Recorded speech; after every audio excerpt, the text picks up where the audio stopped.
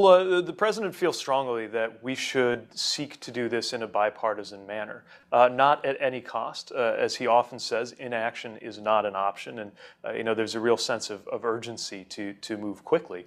Uh, but we've been having, I think, productive and honest, frank conversations uh, with at least one group of, of, Republican senators who put forward their idea. of course, we started out very far apart. We've moved closer. As a matter of fact, we've moved uh, half a trillion dollars from what the president originally proposed in their direction. But there is still a lot of daylight between us. That's how negotiations work. We want to uh, continue speaking with them. We'll see what they come back with uh, and whether we have something we can work with or, or not.